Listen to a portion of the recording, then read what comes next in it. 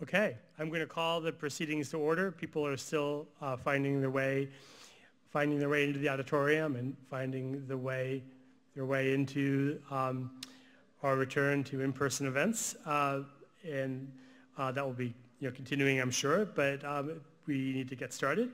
So good afternoon and welcome to the second annual symposium of Good Systems. Um, Good Systems has been around for more than two years, but this is the first time since our um, inaugural um, symposium uh, way back when that we've been able to reconvene back in this hall where many of you will remember um, you know, our exciting uh, kickoff event some years ago. I'm Sam Baker. I'm chair of the Good Systems Research Grand Challenge here at the University of Texas. Thank you for spending time with us and for joining the conversation to help shape the future of human-centered AI. As artificial intelligence is increasingly integrated into our daily lives, it's ever more important to ensure that AI is ethical and values driven. As we launch into our exciting program here at the symposium, uh, it's my pleasure to introduce UT's Deputy Vice President for Research, Scholarship, and Creative Endeavors, Dr. Jennifer Lyon Gardner. Jennifer will tell us about UT Austin's Bridging Barriers Initiative and what we like to call grand challenges. Jennifer.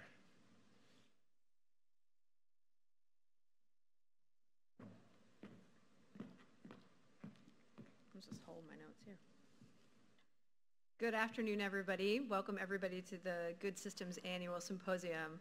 I'm really excited that you're here with us as we highlight the work the Grand Challenge Research Team has done over the past year, um, and as we reconvene uh, in person to celebrate everything that's been happening as they've most notably launched their six core research projects. I wanted to start by briefly telling you the origin story of the Bridging Barriers Research Grand Challenges here at UT, if you haven't heard it before. UT Austin started envisioning a Grand Challenges initiative in the spring of 2016, which was about six years ago.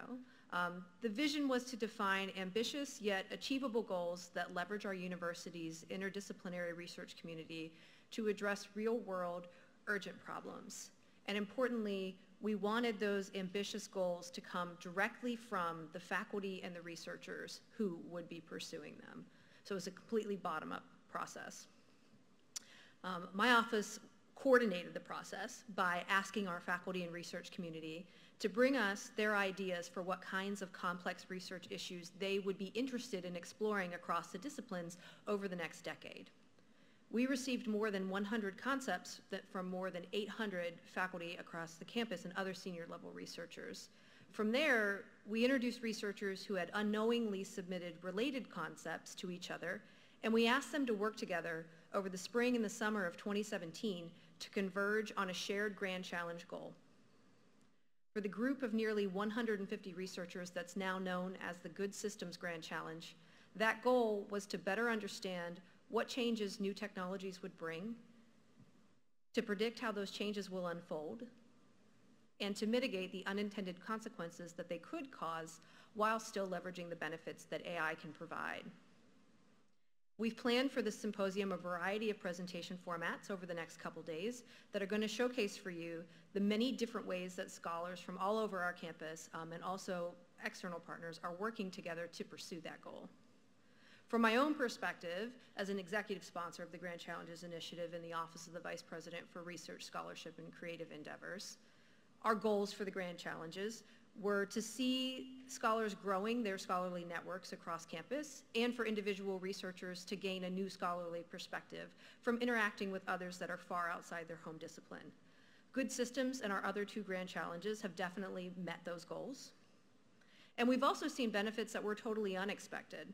For example, Good Systems has nucleated a very deep, multi-layered partnership with the City of Austin that paved the way to, to a master interlocal agreement between the city and UT, which is now regarded as a model town and gown partnership by a lot of other U.S. cities. And the three Grand Challenge teams together have built meaningful relationships with more than 100 external stakeholder organizations.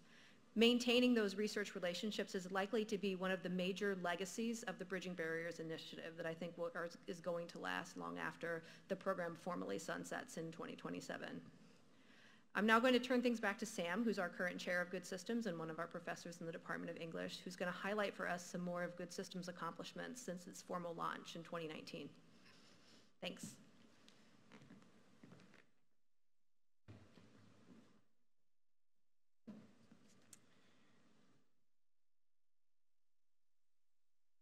Thank you, Jennifer, for those remarks, and thank you so much for your tremendous service to the university as a prime mover, along with Vice President for Research Dan Jaffe and former President Greg Fenves, in the founding of the Bridging Barriers Grand Challenge program. I know I speak on behalf of the whole Good Systems Network when I say that we're tremendously grateful for your energetic and thoughtful institution building efforts. We aspire to be worthy of the faith you show in the ability of the university's faculty, staff, and student researchers to rise to meet the grand challenge you've helped us identify. The specific grand challenge Good Systems addresses is the urgent need to ensure that artificial intelligence technology will be beneficial, not detrimental, to humanity. What unintended consequences is the advent of AI bringing with it? How can AI technology and our society adapt to each other so that people are not harmed, but instead benefit from the emergence of AI? The rise of AI is an unprecedented event which demands a unified response. To properly raise and begin to answer these critical questions about AI in society, we need to hear from the whole of our university community, from social scientists, humanists, and artists, as well as from engineers, computer scientists, and scientists in other fields. We also need to hear from stakeholders in our city and in our state and from across America and the world. So as you hear today and tomorrow at this symposium, to help us find the best path forward with artificial intelligence, we are listening to and collaborating with, as Jennifer described, industry partners from companies both large and small, citizens groups and concerned individuals from near and far, and governmental leaders and agencies on all scales. Over the past few years, Good Systems has sponsored dozens of research projects investigating how people and artificial intelligence can work collaboratively together for good. These were previewed at our kickoff. They were uh, showcased at our first symposium, which was online last year. And then you'll be able to read and hear about those projects now this afternoon face-to-face in the poster session that will follow the plenary talk we're about to hear. And tomorrow, at Avaya Auditorium in the computer science area of campus, you'll hear about our six new core projects, the large ongoing research endeavors now unfolding at the core of our mission. Tomorrow morning, representative scholars from each core team will speak about these core research projects in the areas of disinformation, robotics, smart cities, racial justice, privacy and surveillance, and smart tools and the future of work. Then, tomorrow afternoon, our university researchers will engage with leaders from industry and government to discuss the future of AI in those areas and beyond. So we have a great two-day program ahead. You can find the full schedule and all speaker bios on our website, goodsystems.utexas.edu, or by scanning the QR code you can see around this room, which will take you directly to the symposium schedule. And now, we're honored to have Dr. Milind Tambe here to kick us off. Dr. Milind Tambe is the Gordon McKay Professor of Computer Science and Director of the Center for Research in Computation and Society at Harvard University. He also serves as Director of AI for Social Good at Google Research India. Dr. Tambe's work focuses on advancing AI and multi-agent systems for public health, conservation, and public safety with a track record of building pioneering AI systems for social impact.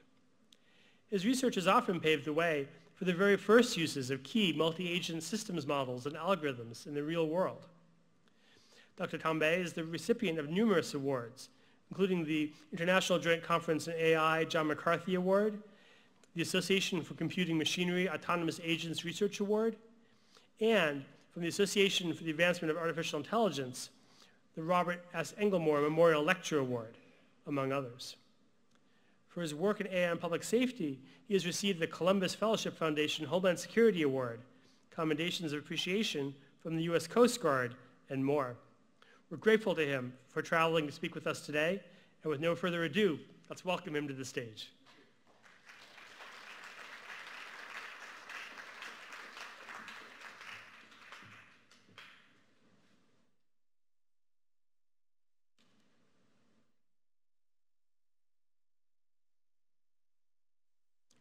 Well, thank you for inviting me here. I'm really deeply honored. This is uh, my first trip outside of uh, Boston for a lecture since February of 2020. So uh, I'm really delighted to be here. And thank you for all uh, really the great generosity in how, um, you know, and, and all of your hospitality. Really glad to be here. So thank you. And the Good Systems Initiative seems to be really a fantastic initiative. I've been learning about it, very inspiring, and I have had a very inspiring tour so far. So let me uh, now move into my lecture. So I'm going to be talking to you about the work that we've been doing in my research group for the past 15 years. We've been focused on advancing AI and multi-agent systems for social impact, focusing on topics of public health, conservation, and public safety and security, with the goal of optimizing our limited intervention resources. Let me just jump right into some of the lessons that we've learned. First, achieving social impact and AI innovation go hand in hand. With respect to public health, we have large populations to serve, but limited number of public health resources concrete example is work we have done with youth experiencing homelessness in Los Angeles, where harnessing the social networks of these youth, we are able to show that our influence maximization or social network algorithms are far more effective in reducing HIV risk behaviors compared to traditional approaches. But this work required innovation in the area of social network algorithms. With respect to conservation, we have large conservation areas to protect, but limited number of ranger resources. Concrete example is work we've done in Uganda and Cambodia, where harnessing past poaching data, we are able to predict where poachers set traps or snares, and for the past several years have been able to remove thousands, if not tens of thousands of these snares. But this work required innovation in the area of what we call green security games, which combines machine learning and game theory. With respect to public safety, we've contributed new models called Stackelberg security games and new algorithms that have been in use by the US Coast Guard, by the US Federal Air Marshal Service, by the Los Angeles Airport Police and others. These are the very first uses of game theory for optimizing limited resources. These may seem like very different areas, but what ties them together is the underlying research area of multi-agent systems. Today's talk will focus on public health and conservation. A second lesson is that in AI for social impact, partnerships with communities, with nonprofits is crucial. Listed below are logos of some of the nonprofits I've worked with. Our ultimate goal really is to empower these nonprofits to use AI tools and avoid being gatekeepers to AI technology for social impact. The third lesson is that this entire data to deployment pipeline is important when we think about AI for social impact it's beyond just improving algorithms that tends to be the focus of the AI community. We start our process by immersing ourselves in the domain, trying to understand from a nonprofit what kinds of data are available, what kind of problems they really face. Following that, a predictive model may make predictions on which of the cases faced by a nonprofit are high risk versus low risk. Following that, a prescriptive algorithm may make recommendations on which of the cases to actually intervene on because we don't have enough resources to intervene on all of the high-risk cases. And field testing and deployment is crucial not only because we want to understand the limitations of our models and algorithms, but because social impact itself is a key objective of our domain, of our work. So with that introduction, let me now jump into four projects i have selected for you to present to you. Um, three in public health, one in conservation. I'll cover papers that we have from 2017 to now on these topics. I'll focus more on the real world results. There are more details on simulations and so forth in our papers.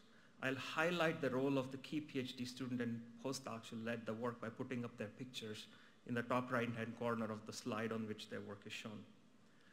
Start here by the first topic, first project on use of restless bandit models for maternal and child care. So um, when I was a PhD student in Pittsburgh, there used to be these, you know, documentaries on the local public uh, TV station on uh, challenges faced in India and so forth. And I would think, you know, what I'm learning in AI, could this actually be of any use there? And finally, it's arrived, so now, now I, ha I have the ability to actually hopefully contribute to that. And so I'm going to talk to you about one of the projects that we're running out of Google Research India. The rest of the projects are projects that we've been doing at Harvard. So the United Nations Sustainable Development Target says that by 2030, the maternal mortality ratio, that is mothers dying during pregnancy and childbirth, should be below 70 per 100,000 live births. Western Europe has the lowest. United States is more than double that. In fact, it's becoming worse. Um, it's, it's, been, uh, it's doubling. It has doubled in the past few years, past decade or so. But in India, you can see that the rate is much higher than the UN target for 2030. And so this is the area that we're going to focus on.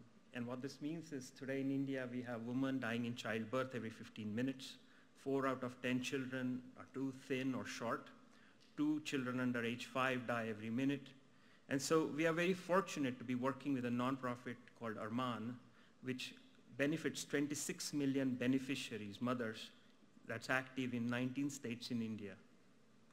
We are inspired by the founder of ARMMAN, who in a very inspiring speech talked about how pregnancy is not a disease, childhood is not an ailment, dying due to a natural life event is just not acceptable. And so the question is, okay, we are inspired, we want to do something, but what can we do with AI? And so after some discussion, we arrived at a particular problem in one of the programs that they run called mMitra.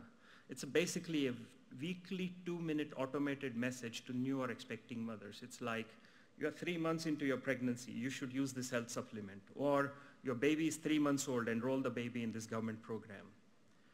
ARMMAN has shown that mothers who listen to 141 of these messages that are delivered get significant benefits for their own health and the health of their babies if they listen to these messages.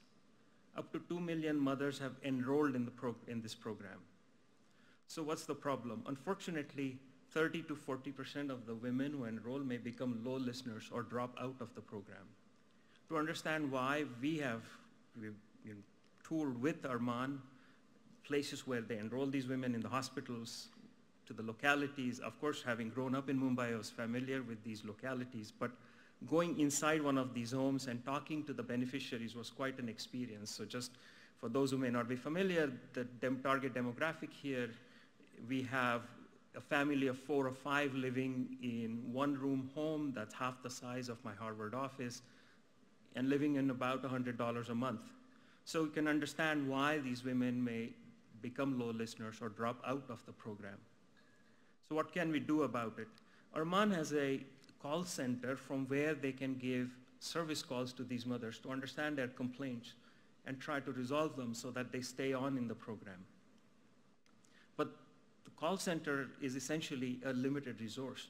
So the question is, can we help them optimize the use of this call center? So supposing we have 100,000 beneficiaries, mothers, and we want to choose 2,000 service calls we can make so that we maximize the total number of messages that the mothers listen to. So just to make, uh, give you a very simple example, supposing we have this call center worker which has, who has five mothers in her care, and four of them, shown in red, have not listened to ARMMAN's voice message, and one has, which is shown in, who's shown in green. Now, help this worker in this case, let's suppose, can make only two calls. So she may choose the first two mothers to call, which are show, shown in red. And indeed, they turn to green. And in fact, one more mother turns to green. So this was a good choice. Now she has to decide next week which two mothers to call. So supposing she decides the last two mothers. This turns out to be a bad choice because not only do these two mothers not turn to listening to messages, but the first two who were listening have also turned to non-listening. So we've got more red as a result of this choice. So we have this problem of a call may not change a beneficiary state. A beneficiary, on the other hand, may change state on their own from listening to not listening. Yet we have to prioritize 2,000 beneficiaries per week. We solve this problem by what's called a restless bandit, where we want to choose K out of N arms per week. I'm going to just briefly give you an intuition of how this is solved. So each mother here is modeled by what's called a Markov decision problem, where a mother might be in a bad state, she has not listened to a health message, or a good state, she has listened to a health message that week. We have action to intervene, that is to call that mother via a service call or not. And there's a certain probability that the mother will transition from a bad state to good state, which is shown to be 0.2 if you don't give her a service call, and transition from bad state to good state with the probability of 0.8 if you give her a service call. So in reality, each mother being modeled by this MDP means that with 100,000 mothers, we have 100,000 such MDP arms, and we have to choose out of these 100,000, 2,000 mothers to call. Solving these problems uh, is P-space hard, is a very hard problems to solve. So this is solved by what's called a Whittle index. So you compute the Whittle index for each arm, for each mother, which is essentially computing the benefit of intervention. Uh, more formally, we are trying to compute a subsidy to give to each mother. This is subsidy in computational terms so that the benefit of calling and not calling becomes equal. But essentially by computing this Whittle index with an algorithm we had developed in 2016, we are able to rank whom, which mothers to call and then we choose the top K mothers to call. Now, usually this Whittle index requires that all the model parameters, the transition probabilities are known in advance. Here we don't. But fortunately, we have past data. For each mother, we have features such as age, income, education level, etc., and an engagement sequence. She was not listening, she got a service call, she started listening. Or, you know, service call didn't change her state, etc. So based on this past data, we can cluster these mothers into different groups and then learn a mapping from features to clusters, which gives us her behaviors. So essentially, given a mother of certain age, income level, education level, etc., we can predict the probability that the service call will get her to go from a bad state to good state, for example. Then in the testing step, when a new mother shows up, given her age, income level, etc., we can predict the cluster she belongs to. Based on that, we can know the transition probabilities, the model parameters, the behavior, essentially we are predicting. Based on that, we compute a Whittle index and then choose the top K mothers. This clustering compensates for lack of data. It also speeds up our computation because we are not computing Whittle index of each mother, but entire clusters at a time. All right, so all this being done, we ran a field study um, for 23,000 beneficiaries. This is the first large-scale application for restless multi-arm bandits in public health. So we created three groups, 7,667 with the restless bandit group, round 7,667 in the round robin group, and then there was a third group of this current standard of care. In each group, we called 225 mothers per week so in the restless bandit group, the 225 were chosen by our Whittle index algorithm. In the round robin group, we called the first 225, then the second 225, etc. The current standard of care is to not give an outgoing service call at all. And now we want to know how many more health messages were listened to over the current standard of care group in each of these three groups. What we find on the x-axis here are different weeks, and on the y-axis, how many more messages are listened to. What we find here, the blue is our al algorithm group, the restless bandit group. We find that more than 600 more health messages were listened to in the restless bandit group versus the round robin group, where there's very little difference compared to the current standard of care. In terms of statistical significance, we can show that the improvement created by our algorithm is statistically significant, but in the round robin group, it is not statistically significant. The point being that optimizing these service calls is important in order to get benefits from these service calls. We are now transitioning the software to ARMMAN. Uh, Aparna Hegde points out that we are able to reach out to more and more women each week and get them back into the fold and save lives because of AI. And there's an interview uh, of one of the mothers who got a service call who talks about how I will follow all the advice and take good care of my baby. There's a nice YouTube video um, on AI for social good in partnership with ARMMAN. I recommend it. It was created by a very talented team. Um, so you know, you'll see some of these, uh, some of these codes and the environment in which these mothers operate and so forth in there. So our goal now is to, in by 2023, assist 1 million beneficiaries. So that's the target to get to in 2023. And we have begun discussions with a program called Kilkari, which is a program run by the government of India. It's India-wide. And that's 5.28 crore, that means 52 million. And so that's the volume of calls that they give. 2.5 million mothers are enrolled in the program at any time. And so that's the scale we want to get to in terms of being able to help. So there's lots of interesting research, some of it more perhaps of interest to the AI researchers in this audience. So one of the questions was, you know, do we really need this complex restless bandit algorithm? Could we do something simple? Since we had run that live test, we could collect a lot of data, and based on that, we can run simulations and show that a simpler algorithm, shown here in greedy, doesn't do as well as our Whittle index algorithm. There are many other challenges as well. I talked about this full data to deployment pipeline where we begin with this immersion, followed by machine learning uh, in order to basically figure out what's the right mapping of features of the mothers to her behavior. And then finally, next is this optimization step where we choose the top K mothers to call. So we first choose to maximize learning accuracy and then separately optimize by choosing the right mothers to call. So this is a stage-by-stage approach. However, maximizing learning accuracy does not translate into maximizing decision quality. And so I'm going to quickly show you how, how that might be. So on the x-axis here are different features, say, for example, age or income. And then the y-axis is behavior, transition probability. The blue dots, which are shown to the left of that orange line of feature values, are all low-risk mothers. The red dots are all high-risk mothers. So if you're asked to do the stage-by-stage learning and maximize learning accuracy using a linear regressor, you'll learn the green line because the blue dots in, are in majority and you'll be able to predict more accurately. However, that means you miss the high-risk mothers and so it leads to high learning accuracy but lower decision quality. A decision-focused learning modifies the loss function of learning to directly maximize decision quality. What this means is if you're now asked to learn a linear regressor, it learns that green line so that it is more accurate in predicting the red dots.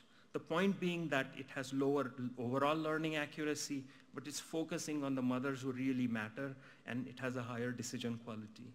We applied this idea in the context of ARMMAN and showed that with decision-focused learning, we can achieve higher policy performance. You can see here that the decision-focused approach shown in blue has overall higher policy performance, decision quality, even though in terms of predictive accuracy, machine learning accuracy, it is actually lower. So the point here is that we got to go to what's the final product of our learning, which is to help in the final decision quality rather than obsess on the accuracy of learning itself. The same sorts of ideas are also useful in problems like tuberculosis. Tuberculosis causes half a million deaths in India per year. Over 3 million are infected. And the TB treatment is to take these TB pills for six months. I get exhausted if I get a, you know, I have to take some pills for six days. Six months is a really long time. And so patients drop out. So but that's problematic because it's not only that they don't get well, but now we get drug-resistant bacteria. So to deal with that, again, you have call center workers who call these patients to remind them to take their medicine every day. Now the call center worker faces a problem that she really doesn't know who has taken their medicine, who has not. So she'll call and then find out when she calls the first three that two of them took their medicine last night, one didn't. And then again she has to choose who to call. So it's similar to the problem I showed you earlier with the mothers, except that there's the challenge of partial observability. We don't have observations of the patients. We solve this by doing two things. When an arm is not played, when a patient is not called, there is no observation about the patient. We essentially update the belief, probability that this patient has taken their medicine by saying, generally speaking, the probability will be lower when we get information, when we call a patient, uncertainty collapses. Now the patient tells us, I took my medicine last night. As a result, now we know the state of the patient. Or I didn't take my medicine last night. We know the state of the patient. So this collapsing of uncertainty can be exploited for a fast algorithm, which we have shown uh, we can provide optimality guarantees for. And in comparing with the state of the art, that this is a faster algorithm and leads to higher, without losing a lot in solution quality. So our, our algorithm is shown in blue, running faster without losing a lot in solution quality. There's many other interesting challenges here for in AI, in terms of foundational contributions in AI, in terms of index Q learning, in terms of risk-aware restless bandits and robust restless bandits. So the point about AI innovation and social impact going hand in hand is what I wish to demonstrate here. Let me now switch to the second topic that I wanted to focus on, which is social networks for HIV prevention. So this work came out of the time when I was at, in LA at the University of Southern California. Right, right outside our campus was an encampment of homeless people. And the question was, you know, you just drive by, you know, just like, okay, what can we do? Fortunately, in collaboration with the School of Social Work, they presented to us this problem of preventing HIV in youth experiencing homelessness. There's 6,000 youth who sleep on the streets of Los Angeles every night. The rates of HIV in this population is 10 times the rates of a normal house population. So homeless shelters try to run this campaign. They cannot go to all of the 6,000 youth, but they'll try to identify key peer leaders, educate them about HIV prevention, expect them to talk to their friends, their friends to talk to their friends, and information to spread in the social network. So this is real face-to-face interaction. This is not happening over Facebook, for example. So take this network. Each node here is a homeless youth. Each edge is a friendship edge between two youth. And we are trying to choose, in this case, three youth shown here, C, F, and H, to maximize the total number of youth who get informed about HIV prevention. And this is a picture from our social work colleague educating these youth in one of the executions of our program. So here information is supposed to spread with what's called an independent cascade model. So if you educate a youth C about HIV prevention, they'll inform their friend D with a probability of 0.4. D will inform their friend E with a probability of 0.4, and information will cascade in the social network in this way. Now, there's been two decades of work on these algorithms in the computer science literature. But when we try to actually deploy these algorithms in the field, again, we find lots of interesting research challenges because there's a lack of data and there's a lot of uncertainty. And this is a key feature of AI for social impact. There's uncertainty in the propagation probability. I said 0.4, but we may not know that. Usually in previous work, it's assumed that if you recruit some youth, they will show up, but these are youth in difficult circumstances, and they may not actually show up for these education sessions, which means we need backup plans. And so this leads to more dynamic policies. And the social network itself that is assumed to be an input is not known.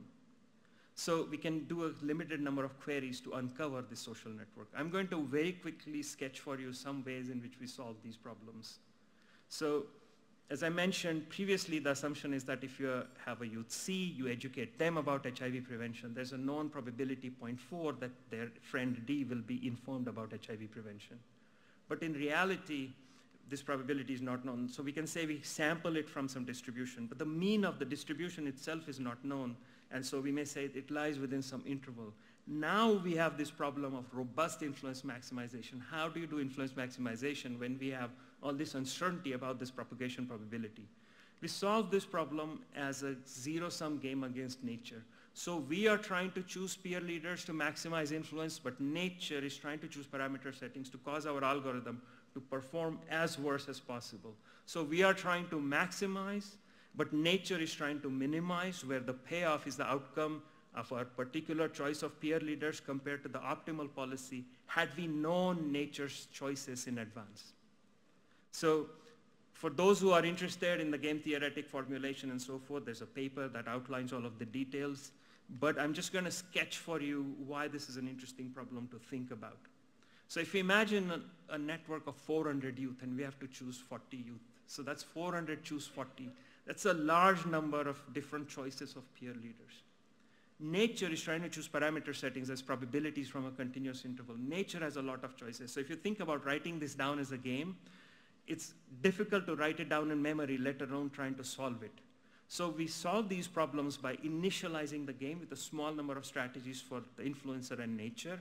And then there's this double oracle algorithm whereby you incrementally grow the game. So the influencer's oracle adds its best response, nature's oracle adds its best response, the game grows, and we iterate, and with a few iterations we converge, and we can show we converge with approximation guarantees. So this is the way in which we can solve for robust influence maximization.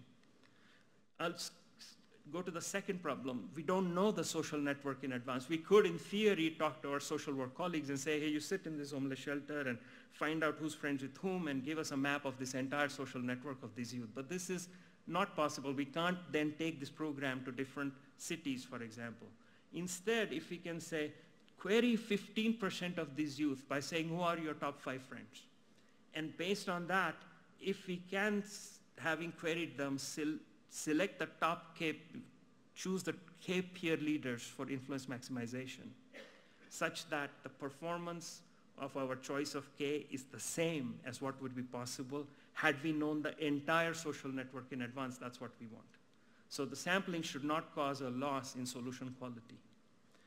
We developed an algorithm that achieves that where we sample nodes randomly and estimate sizes of the communities the nodes belong to and choose seeds from the largest K communities. I'm going to skip over some of the theoretical guarantees and talk to you about an experiment we ran.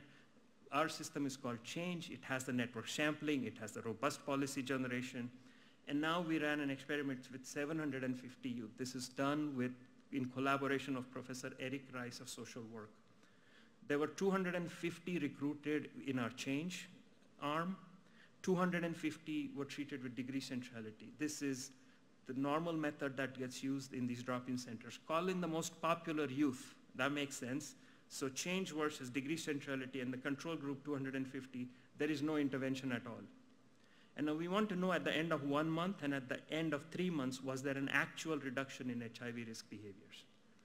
So we ran this study in collaboration with three drop-in centers in Los Angeles, My Friend's Place, Los Angeles LGBT Center, and Safe Place for Youth as far as we know, the first large-scale applications of influence maximization for public health.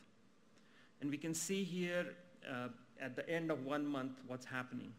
So in terms of reduction of condomless anal sex, which is one of the HIV risk behaviors, we can see change has a large reduction, more than 30%, whereas with degree centrality and control, there is no reduction in this HIV risk behavior.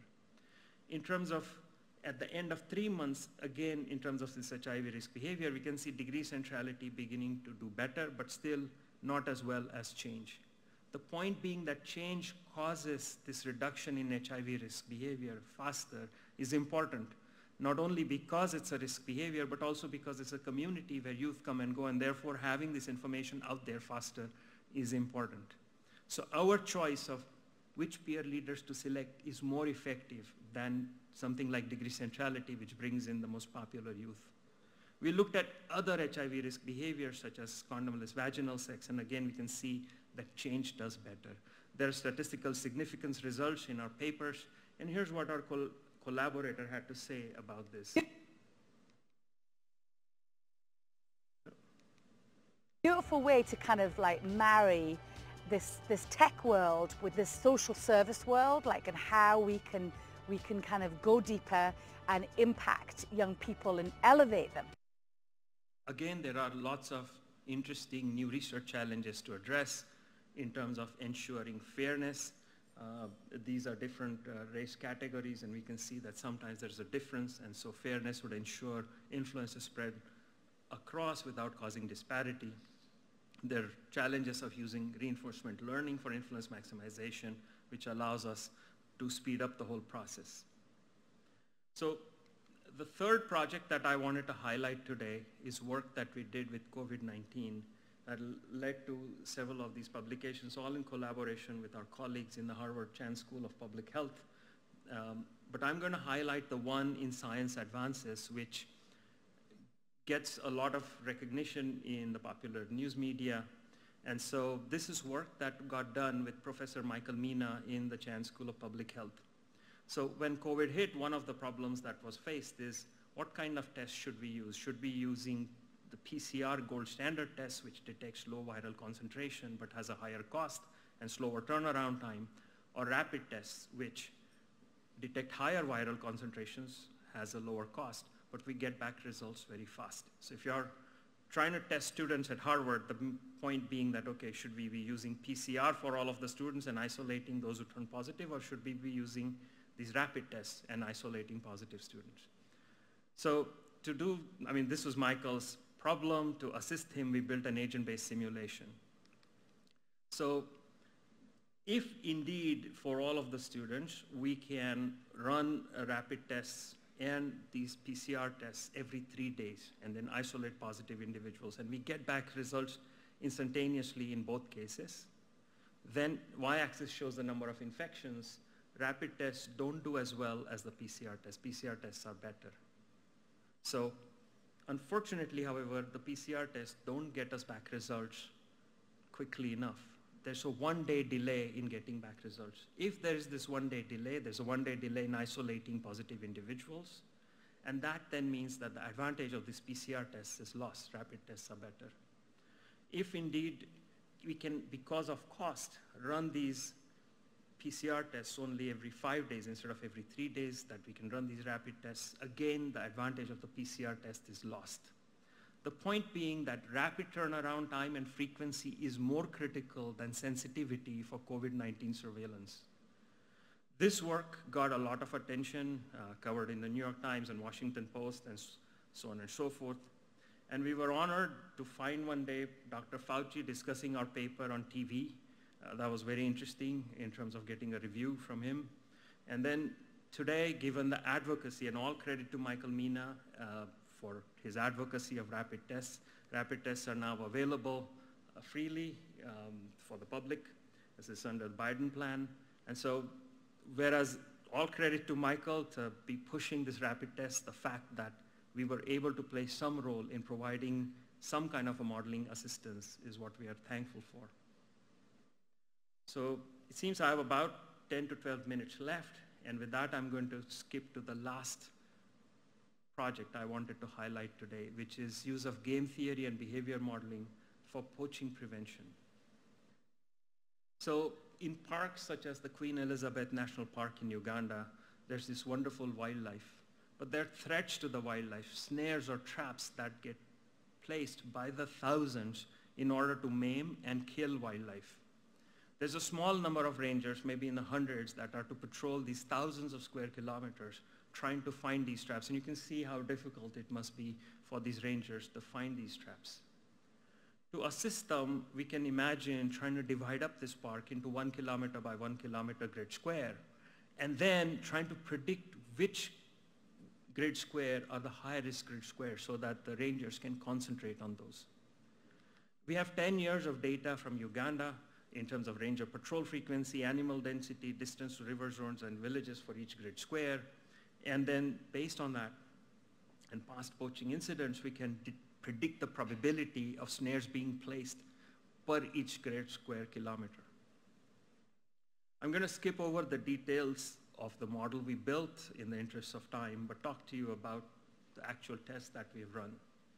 The first pilot test we ran was in 2016 in the Queen Elizabeth National Park. We chose, we were asked to show the benefit of our model by choosing new areas which the rangers had infrequently patrolled. So we chose those green areas that are shown, nine square kilometers each. You can see that they don't overlap with the red dots. The red dots are where snares were found previously. So we are asking rangers to go to completely new areas and saying you're going to find snares in those areas. So the rangers patrolled these. Um, this was for a month. It just happened to be one month before a conference deadline, which meant that if they found snares, we were going to be able to write a paper. If no snares, no paper. Every day they would email us what happened. Initially, there were no results. Then they said they found a poached elephant with its tusks cut off. So our machine learning system was making the right predictions, guiding the rangers in the right direction, but we were too late for this elephant. Then came news that a whole elephant snare roll, that's the photograph of that snare roll, was found and removed. So poachers were active in the area. They were killing elephants in this area. Rangers were not patrolling the area, but we were able to find an elephant snare roll and remove it, potentially saving lives of elephants. And then whole 10 antelope snares were found and removed. Honestly, I had not anticipated this. I had asked my students for every snare found, I would buy them a free drink. And at this point, it's like, okay, we can't, we can't take your gift anymore. Following that, we had a more thorough test with three national parks, Queen Elizabeth, Murchison Falls and in Uganda, and Srepok Wildlife Sanctuary in Cambodia. In each park, we selected 24 areas. These were infrequently patrolled areas. And we predicted some of them were high-risk areas and some of them were low-risk. The point being that we don't want to say any infrequently patrolled area is a high-risk area. We want to be able to discriminate and say that some are high risk, more snares would be found. This is the prediction. Some are low risk, less snares would be found. This is our prediction. And then rangers were asked to patrol these areas for six months and come back with what they found. And indeed, where we predicted high risk, more snares were found. Where we predicted low risk, less snares were found. And so this is very encouraging. Today, our system, which is called PAWS, is getting more use for example, in the Srepok Wildlife Sanctuary, these are pictures from snares that were found due to PAWS prediction. In 2018, before the use of PAWS, about 100 snares were found per month. After PAWS get, got introduced, the number of snare captures jumped more than fivefold. In March of 2021 alone, this was uh, a thousand snares were found with the help of PAWS. So this has led to a lot of excitement on certainly on our part, but also on, our, on the part of our collaborators, World Wildlife Fund, Wildlife Conservation Society, and 13 other wildlife conservation organizations. They have a collaboration, a platform called SMART. This is SMART software is what gets used in national parks around the globe. PAWS is now integrated with SMART. What this means is that PAWS is now available to thousands of national, I mean, a thousand national parks are, uh, around the globe. And so we are really thrilled to see PAWS being tested in all these different national parks around the globe as rangers download our software and use, use it for making predictions. We are seeing its use in Belize, in Zambia, in Vietnam with these different organizations. And we are very excited to see and really glad that we can be of some assistance to the dangerous work that the rangers do by going out and trying to protect wildlife. There are, again, many interesting future challenges to work on. I mentioned this data to deployment pipeline. This, what I've talked to you about so far is prediction, prediction of what are the poaching hotspots. But if the poachers find out that the rangers go to the hotspots, they will slightly shift and go to some different locations. So this is where game theory can assist. Basically, uh, this red circle was supposed to overlap with that prescription circle, whatever, there's a little bit of misalignment. But anyhow, the point is that having made these predictions, the next step there is to solve a game whereby not only are we making predictions of what are the hotspots and trying to get rangers to patrol there, but anticipate what the poachers will do in reaction and therefore change, give a randomized patrol strategy to the rangers so that the poachers are faced with the randomized strategy and they can't say, well, obviously they're going to go to the hotspot. There are, so there are lots of interesting challenges here. Again, the kind of algorithms I mentioned, uh, playing the zero-sum game against nature are relevant. Another collaboration with a nonprofit called Air Shepherd led us to think about use of drones for wildlife protection. So these drones fly at night looking for hotspots. So this is infrared heat that they're looking for to detect poachers. And you can see from these images, it's not easy to detect human beings or animals from this distance when the drone is flying overhead. So we built a system called Spot that detects these animals and poachers and delivered it to this nonprofit. And there's some interesting uh, results here, some interesting ways in which these drones can be used. So when the drone flies overhead and it fly, sees poachers entering the park, it knows that there's a certain probability there's a ranger nearby, but there's a certain probability there's no ranger nearby. So if there's no ranger nearby, what can the drone do if they see if the drone sees these poachers, because it can't really call the rangers to stop poaching. So what it can do is turn on the light because it's late at night and fly towards the poacher to try to deceive them to think that rangers are on their way. But if we always do this kind of deception, then the poachers will figure out. So there's some interesting work in terms of optimal deceptive signaling. So you sometimes signal when there are poachers, when there are rangers nearby, and sometimes signal when there are no rangers nearby in order to keep the adversary guessing. Other challenging areas include dealing with data scarce parks. So these are parks such as the Royal Belum Malaysia Park, where the number of observations is very low. So now we want to conduct patrol both to detect illegal activity and to improve our predictions. It's a balancing of exploration and exploitation, and we have algorithms that handle this kind of balancing. So again, lots of interesting challenges in this area as well. So we have come to almost the end of my presentation, so I'm going to talk to you about some of the lessons that we have learned. So first, as I mentioned, achieving social impact and AI innovation go hand in hand. Second, partnerships with nonprofits and local communities is crucial when doing work in AI for social impact. Third, we have to look at the entire data to deployment pipeline. This work is not just about improving algorithms. Fourth, it's important to integrate these AI innovations in the normal workflow of a nonprofit. This really requires that we step out of the lab and into the field and try to understand firsthand the problems that are actually faced as opposed to cool technology that we can develop in the lab and helicopter in into the field. It's important to embrace interdisciplinary research in terms of working with social work colleagues, in terms of conservation scientists. And finally, lack of data is a norm. It's part, it should be part of our project strategy. I've certainly had students when asked to work on AI for social good will come in and say, ah, there's no data here, I can't do anything. But that is, that is the research. That's how you earn your PhD or that's how you do your research in this field. There is no data. So with that, I'm going to end my presentation. Thank you for inviting me. And I've really enjoyed your very, very warm hospitality. Thank you.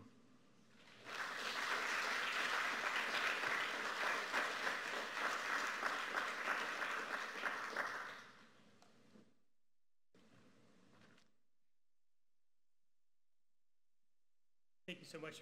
We'd love to, um, to offer you some more hospitality in the form of uh, fascinating questions. Sure. We're sure you'll enjoy answering. Uh, Meredith is over there. Stacy's over there with microphones. If you have a question, uh, raise your hand and uh, a microphone will come your way.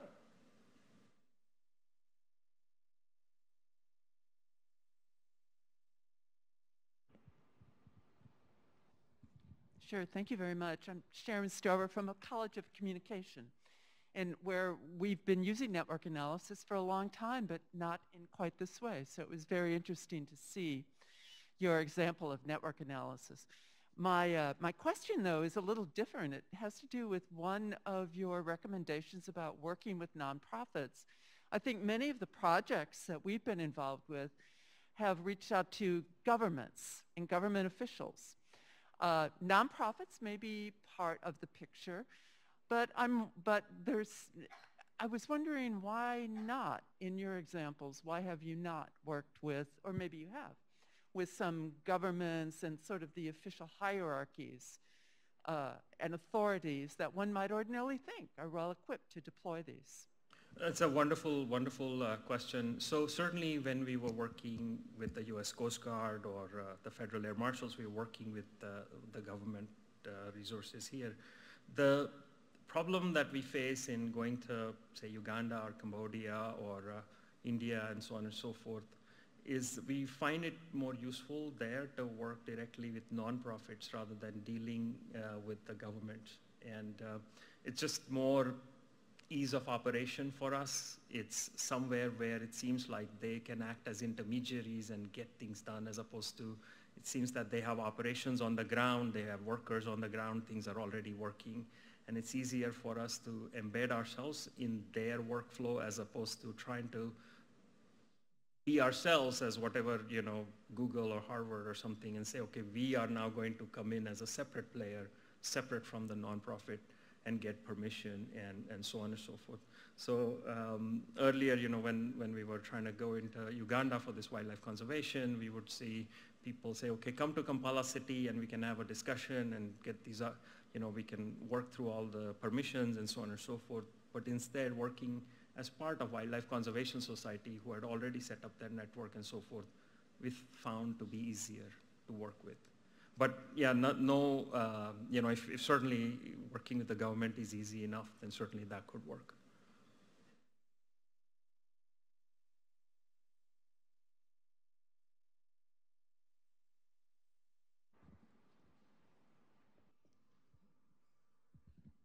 Hi, thanks very much. It was a really interesting talk. Eric Meyer um, from the School of Information. So one of the slides you put up early on was talking about the necessity of not being a bottleneck so that other people would be able to take these lessons. And I wonder if you could expand on that a little bit. Um, first of all, how the projects that you talked about are able to carry that on once you're no longer a partner, you know, on a day-to-day basis. But then also how other projects that you haven't worked with might be able to take those lessons away from what you've done because obviously there's a highly technical component that they may not have in their own in their own organization. So I'd, like to, I'd just like to hear more about how that becomes sustainable and expandable over time. That's, uh, again, uh, really an excellent question.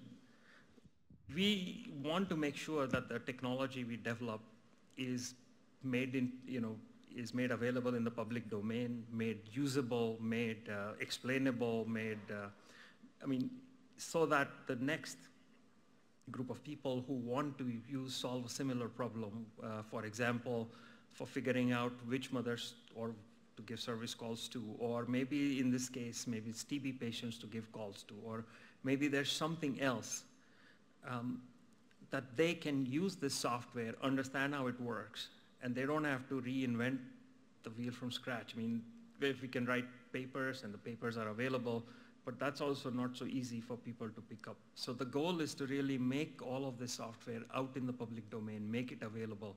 So that's part of, but the software has to be explainable, interpretable, et cetera, et cetera, so that it's not something where, yeah, it's out there, but nobody can actually use it. I don't think, I mean, I would say we haven't 100% succeeded in that. The PAWS software, for example, is available uh, in the public domain. Parks are downloading it and using it. So that's one way in which we are trying to make it sustainable. And it's really a big issue of once we are done with these AI for Good projects, how can these organizations uh, keep sustaining it? So the PAWS project is the one for wildlife conservation that's been going on since 2013.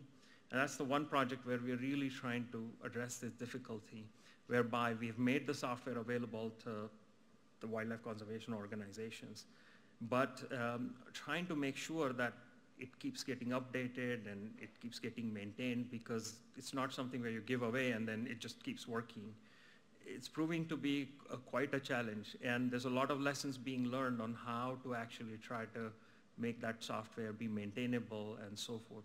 So I don't have a, I don't have a fully well-developed answer, but it is indeed a big challenge. You build this AI software, you give it away, uh, you put it in the public domain. How do we ensure that uh, it lives on and who maintains it and who supports it? And we certainly do not wish to charge a homeless community or a wildlife conservation organization to support this kind of software. So yeah, it is, it is a challenge and uh, it's right now we are just running it case by case.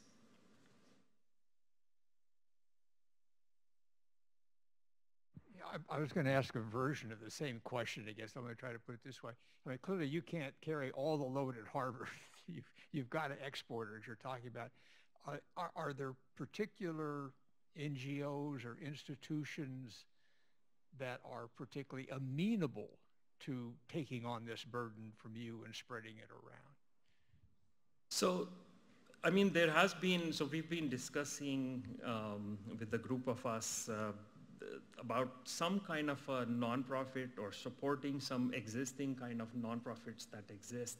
So there are these organizations that are springing up so uh, that try to provide some type of a service to assist in these AI for social good projects. At Google, there's some part of it that we are trying to do. One uh, is a matchmaking service that we, are, we offer. So if you, so every year now we have a call where if you are a AI professor, if you are a researcher, you are interested in AI for social good, you apply. And if you're a nonprofit who wants help from some technical help, you apply. And then we run a matchmaking service. Every professor meets with three uh, nonprofits. Every nonprofit meets with three professors. And then based on the match, they'll write a proposal and we'll fund it. So we ran this in 2020 for uh, more focus on South Asia. 2021, more Africa, South Asia, but professors drawn from around the world. I'm hopeful that 2022 will be focused here in the United States. So at least that gives us a little bit of service whereby, you know, people can start projects in AI for social good. So now the other side of it, once the project is started and something comes out of it, how, how does that project continue to move forward? How does that software continue to be maintained? So we are thinking that this cannot be, uh, certainly cannot be carried out by an individual faculty member. There has to be some type of a nonprofit organization that continues to carry on, the, carry on the work once it is shown to be successful.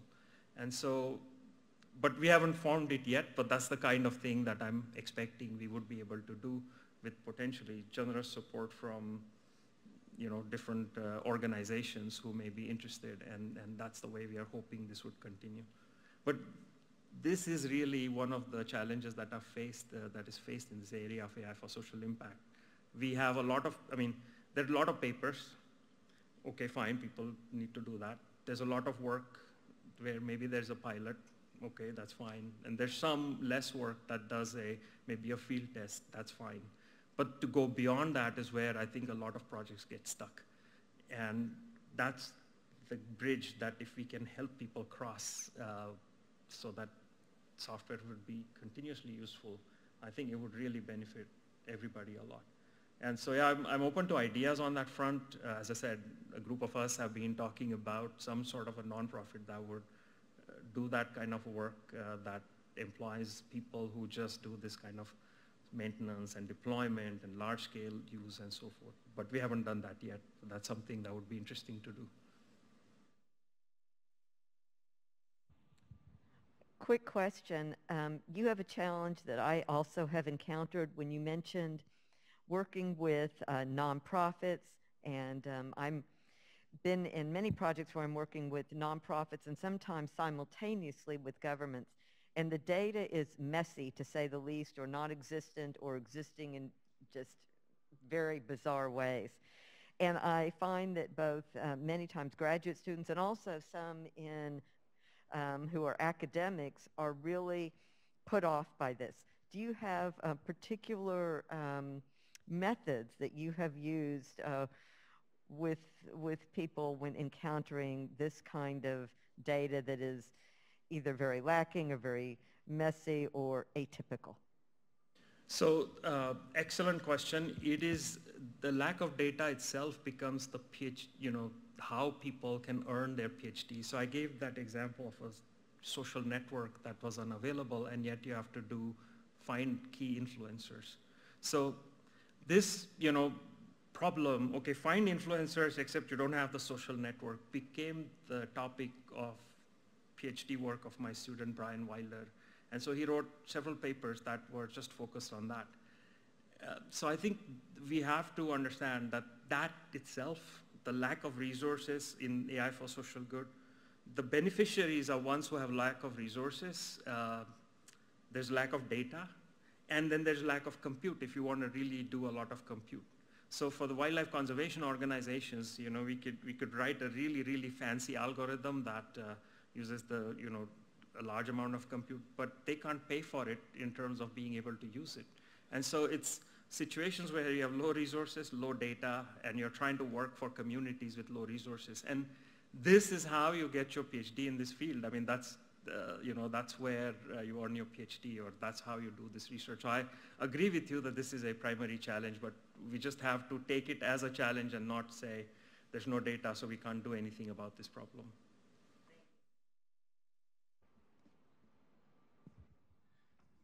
Hi, very interesting talk. Um, I wonder if you could talk, I don't know if you mentioned it at the beginning of the talk or not, that was a little bit late, but the, the cost, the magnitude of the cost um, across the different uh, participants in this study. Um, and, and also maybe as a side question, I'm also interested, where do you draw the line between uh, research and activism uh, and kind of try to keep, uh, keep away the team from trouble, I guess? right, right. No, I think, uh, so I didn't completely understand the question of cost. Could you say a little bit more? Yeah, yeah. I mean, the, the, the research expenditures in terms of, um, you know, um, how many researchers are involved, uh, uh, equipment, just to, for a magnitude of uh, getting an idea of deploying these things, you know, overseas and um, the number of years, the number of um, uh, people analyzing the data, just for us as scientists to understand? Sure, sure. No, I mean, uh, these are not uh, easy projects to run. Uh, the wildlife conservation project, I mean, 20, I, I, I, mean, initially I was just emailing people in National Geographic. I mean, found the problem to be super interesting, and I can go into why, but I was emailing people in National Geographic or just sort of find who are the top kind of, you know, the, the people that gets listed there and just say, hey, I can help you and so on. And for me, some years that went by, nothing really happened. And then finally, someone in Uganda, Wildlife Conservation Society researcher said, I can help you, but you have to come to Kampala City and uh, talk to me here. So I flew to Uganda, I uh, met with him there, then he took me to a national park, uh, and that's how that collaboration started. But until I, it seemed like until I actually went there and showed my sincerity and really being able to meet him there and work with him there that the project couldn't get started. And then from there to getting the data was some months. From there to actually then delivering results and seeing the pilot test was, a, was some months. So takes time. And then finally to the point where we are. So from 2013 to maybe 2019, 2020 is when they finally adopted the software. So it, it is a long drawn out project. On the other hand, there have been students who have continually benefited from the problems posed by these uh, challenges in terms of the rich PhD theses that they could write. Uh, I feel that in, in terms of uh, students and so forth, certainly there is a, you know, if we are thinking about supporting them, there's a cost.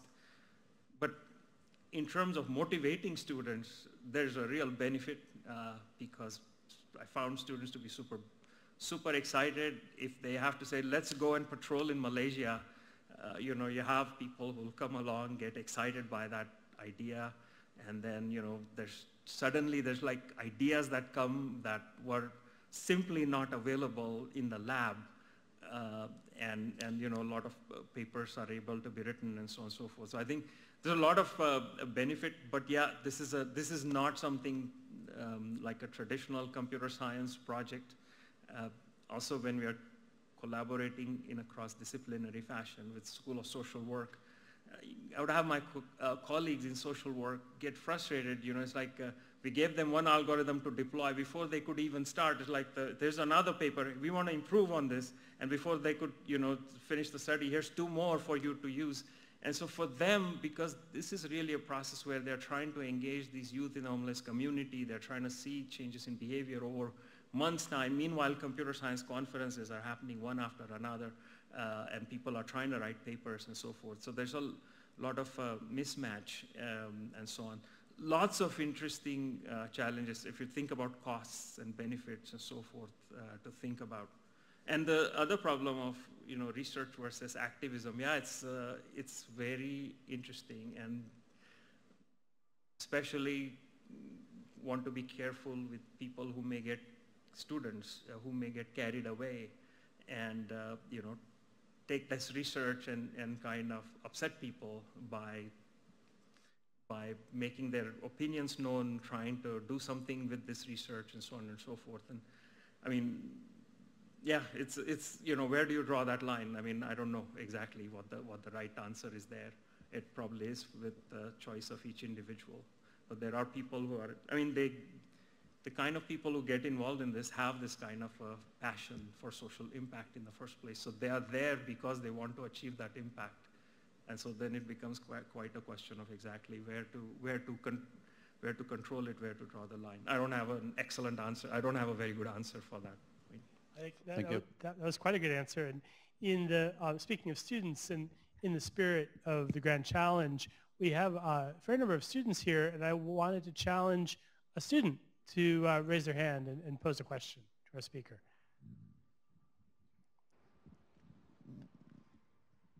Hi, I, I wanted to ask you about the advocacy. I saw a ton of your projects had, you know, call centers where you uh, called women and, you know, made sure they had a probability of doing something at least. And, you know, you met with homeless peer leaders and tried to convince them to convince their friends. And I just wanted to know if you thought advocacy was like the right way to go about doing that. I know at UT and a ton of other campuses, we just hand out condoms. Like we do it for free. And so I was wondering, like, is the cost of hiring like a call center person to call or just hiring people to go around to these homeless networks, is that better for you? And have you analyzed that? Let's just say, is it better to just distribute 20,000 condoms rather than go around and, uh, you know, talk to the peer leaders? Right, right. So I think um, for the for each of these projects, I, generally speaking, there's these domain experts who have tried lots of things and then they have arrived at a method that works. And so we are relying on their expertise to say this is the method that works. So for example, with the mothers who are not listening to their voice messages and so forth, the domain experts, the NGO has said, well, we've tried all, you know, many different things like just um, sending out mass text messages, for example, SMSs and so on and so forth. And that doesn't work. We really have to talk to the mother and then, you know, there are difficulties to understand she may say, well, there's only one phone in the family of four or five, and, and, the, and the husband has the phone, and the mother doesn't own the phone. And so the only time the phone becomes available is when the husband comes back from work. And so that's in the evening. So we have to sort of understand all of that reasoning and then figure out, okay, what's the solution? Maybe we call this mother in the evening. So they, I mean, that's why the service call works better because there can be a conversation to try to understand the problem and try to solve it in the case of uh, the peer leaders, again, the idea is that other peers will listen to their peers. They wouldn't listen to adults. And particularly these youth who have faced very difficult circumstances are distrusting of any adults giving them advice. And so coming from peers, this advice is important. And that's why this peer-led campaign. And so that's what we're relying on. So basically we are, in each case, it's the domain expert who often have tried other things will come and say, look, this is the method that we have tested and it works, but we can make it more efficient with the use of AI, and that's what we have focused our efforts on. one more question. Hello. Okay. Um, it sounds like there are a lot of issues with the kind of research and the topics that you've gone into. I wanted to pose another one. With the AI used in the poaching and that kind of field, what's stopping poachers from getting a, a hold of that kind of research and that kind of AI and using that to determine where to put their traps and everything else? Excellent. Um, on, on terms of uh, prediction, indeed, uh, we have to be very careful in not releasing poaching hotspot maps, and our papers don't carry that information. Um, the software of prediction also, at best, they can read the papers and maybe reconstruct the algorithm, but they don't have input data to make predictions on you know, where these hotspots are. And then there's the game theory portion that talks about the patrols that get generated. But the assumption there is that poachers indeed have good surveillance of where the rangers are patrolling. And so that's baked into the algorithm. So it's making an assumption, the Stackelberg model, that all of our activities are visible to the poachers. And so it's making patrolling recommendations, knowing that they know where we are, and so it's using randomness rather than secrecy. So it says, you know, we know uh, the poachers are going to observe us, so we are going to randomize our presence. So all the poachers know is that the rangers will be here 60%, there 40%, but what they'll do tomorrow remains unpredictable. So it's using this kind of unpredictability as a way of trying to address uh, this problem that poachers can see the rangers and so forth. So there are these kinds of techniques that can be used to try to obfuscate our moves in order to prevent poachers from gaining insight into what we are trying to do. But we do not publish uh, these poaching hotspot maps. And you're absolutely right that if the poachers could come to a point where they're sophisticated enough to look at what we are doing and try and uh, get the AI algorithm confused by you know, putting snares in the wrong places and so forth, then we would have a really a completely new problem to try to tackle. But we are not, fortunately not there yet, but we might get there because this is like a multi-billion dollar industry, this uh, poaching. And so eventually we are going to get there and uh, you know, we, need, we would need to be ahead in terms of this arms race of getting our AI algorithms to be smarter, to deal with you know, poachers trying to confuse them and so forth. Thank you so much for that uh, just wonderful keynote and for entertaining all these questions. Really grateful.